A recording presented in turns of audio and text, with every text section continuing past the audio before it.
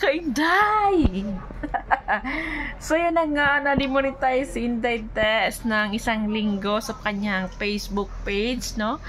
Nawala ng monetization stalls nang hindi inaasahan na pangyayari, no? So, natimingan ako ni Meta at ako yung napili sa ruleta. So, yun na nga mga kainday, 7 days ako talaga na hindi nakaipon ng sintabo. Nawala yung subscription ko, nawala yung stream ads ko, nawala yung live ads ko, lahat nawala. So, ang stars is uh, one day 24 hours lang siya na nawala. Bumalik naman siya agad kinabukasan. Pero yung ads talaga is nawala talaga. So, ganun po kahigpit si Facebook mga kainday na magugulat ka na lang, gugulatin ka niya. Bigla ka na lang yan, tanggalan ng ganun. Para bang isang pagkakamali mo lang, patay ang pinaghirapan.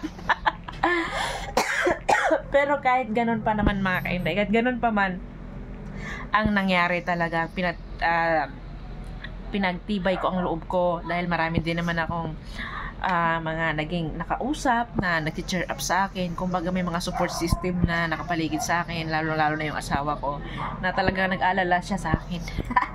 Kasi alam niya, kaligayahan ko talaga itong paggawa ng content, mga kainday. So, alam naman niya na 2019, talagang puyat na puyat ako dito sa YouTube, no?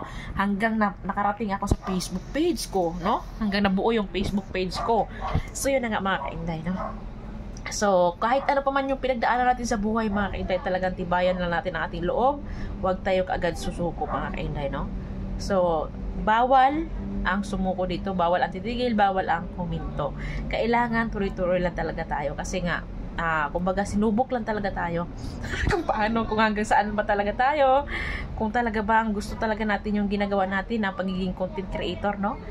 So, kailangan pag halimbawa nangyari sa atin ng ganun, kung halimbawa kayo ay may mga, may mga Facebook page na monetize na, at halimbawa nangyari sa inyo yon huwag kayong malungkot, tibayan nyo lang ang inyong loob. Kasi, ano, ah, talagang may mga pagsubok talaga tayong pagdadaanan kahit saan pa tayo, no? Kahit ano pa yung ginagawa natin sa buhay, talagang normal lang talaga na may mga pagsubok. So, yun na nga mga kainday ngayon, okay na yung aking ah, Facebook page. So, yun.